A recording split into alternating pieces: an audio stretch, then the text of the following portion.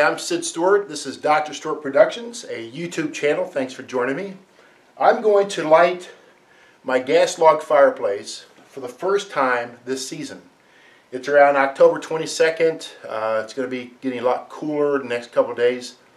And instead of heating the whole house with propane, we're just going to let some propane or some uh, gas rather come through the gas log fireplace into our family room and I'm going to light this for the first time. I want to show you how I do it and some tips that might help you in your situation. And uh, you're going to need a few things. First of all, get you an old rag because I'm going to wipe parts of it down to get the dust off. Also, if you don't have one, go to Walmart or probably even uh, Home Depot or Lowe's or some hardware store or electronic store and get you some compressed air. Compressed air and make sure it has this red nozzle on it like this. Because we're going to do something in a minute to help uh, help this light a lot better. And then you're going to need a small brush. Because I'm not just going to start lighting this with the the uh, on off down here and the controller. I'm going to take every piece out of here like this one and all there's four pieces of the logs. And I'm going to take these outside and I'm going to dust each one of them off because this is sat uh, for months now not being used. So no doubt dust has accumulated in between all the cracks. And there's maybe some soot from last year on the darker parts where the flame hits. And so I'm going to take each one of these outside and dust each one of these off. Okay so that's the first thing you want to do. And uh, when I take these off I'm going to start with the top one. Then I'm going to well first of all I'm going to take with my with my phone here watch this. I want to make sure that I remember how these go back in place. Because it would be a shame to uh, dust all three of these bigger pieces off and not remember. So let me do this. Here we go. And I'm going to take each one of these out in sequence the first one the second one the third one and I'm going to lay them on the floor clean so I know and remember the sequence they go in because I don't want to get this confused. I don't want to turn one upside down. I want to make sure these go right back in place. So let's go outside and uh, dust these off real quickly and uh, then we'll put these back in place. Uh, we'll do some more wiping down and then we'll light the fireplace. Okay? Thank you. Okay, so the first piece is that smaller one that goes on the top. And I'm going to take my brush here and wipe this down, sweep, get all this dust out, of the cracks right through here especially. And then on the back side where the flames hit, there's soot. You could even take these and very lightly wash them if you wanted. I'm just going to dust them. Now you see this hole right here? That's very important for when I take that back in and put that back in place. That hole fits over something. So there's my first one. Okay, here's the final piece. It goes in the back. It actually will sit down like this because you see the pins. There's holes in the back that's going to sit just right there in those pins. That hole, that pin will sit right there in the holes. So that's really easy to know. I'm sure glad I'm dusting this off.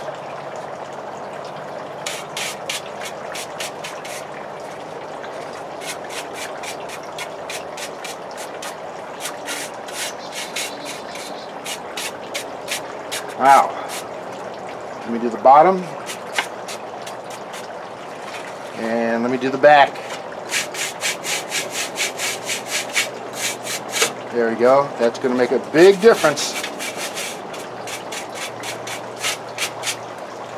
Okay, let's go back inside and do a few more things to it and we'll get the fire going. Okay, back in the family room.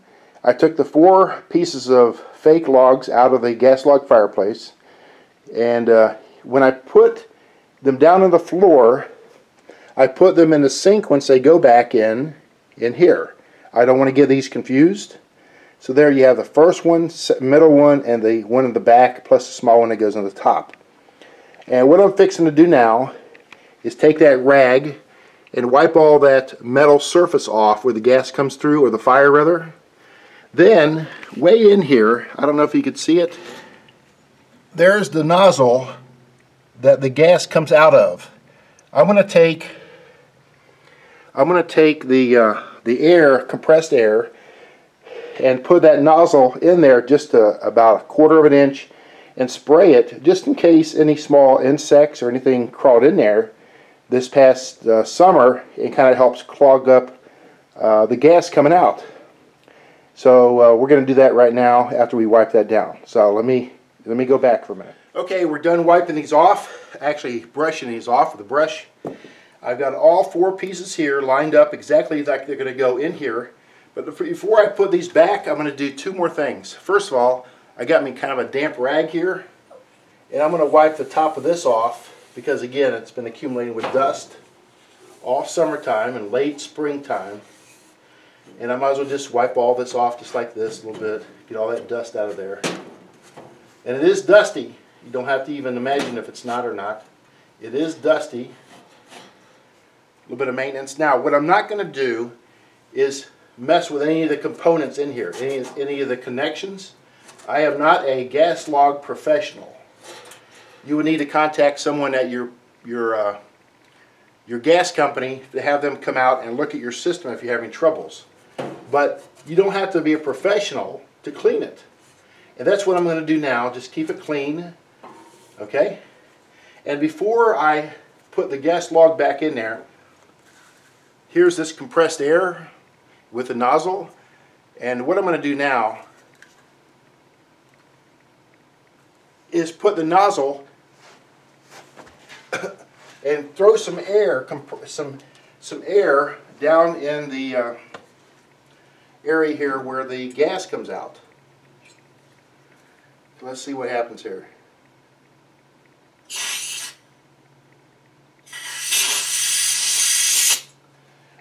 Several years ago, I had a problem where the gas log would not would not light. This went out, the pilot light went out, and I couldn't get it going. So I called my gas company. They gave me this suggestion right over the phone. Didn't cost me a dime, and I do really appreciate it. There it is. That had to have helped. Okay, that had to have helped. And then I've got plenty of gas to, to uh, uh, let me do that several more times this year if I need to. Okay, so uh, let's see if we can get the flame going.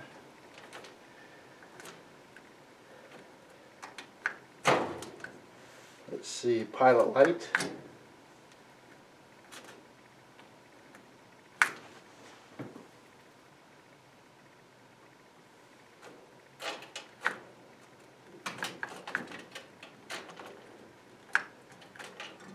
Okay, so I turned it to the left, one click.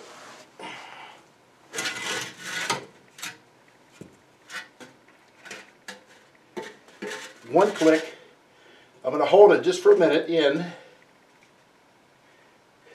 and try to get some some gas to come through up to the top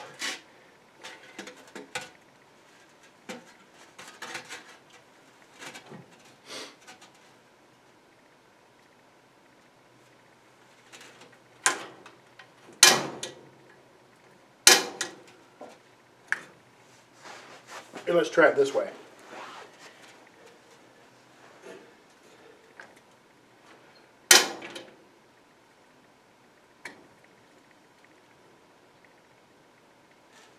I can hear it, it's coming, or filling the lines rather from here over. Now let's try it again.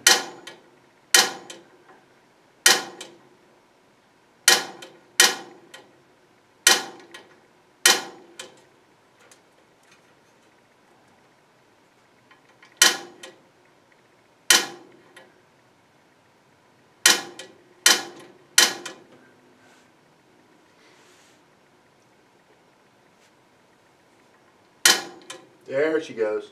A little bit of gas coming out. The flame is lit. And you still have to hold this so it gets to a certain temperature. And again, I'm not messing with any of the components. That's for professional, but I can clean it and I can light it. Alright, now slowly let this go. The pilot is still lit.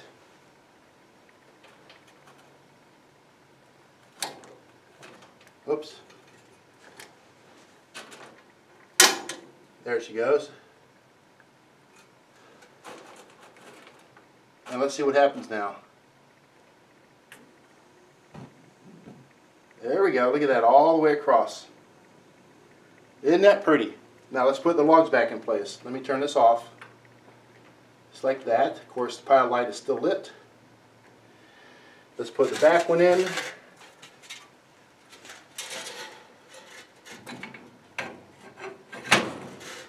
Let's put the middle one in.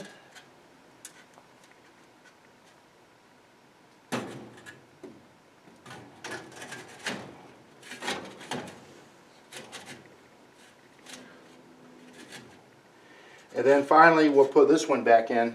It's got these grooves at the bottom, and it's going to fit right over the grate. So that's how you can remember that one if you need to.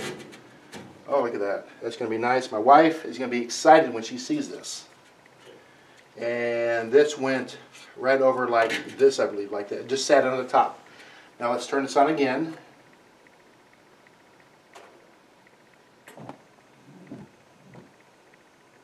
Perfect. Perfect. Oh, she's going to like that. I will surprise her when she comes home.